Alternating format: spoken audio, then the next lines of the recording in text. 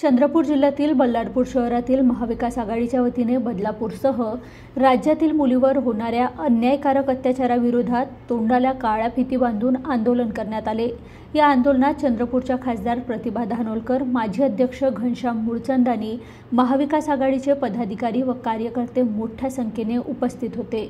VKB न्यूजसाठी चंद्रपूरहून प्रतिनिधी चंदन देवांगन यांची रिपोर्ट.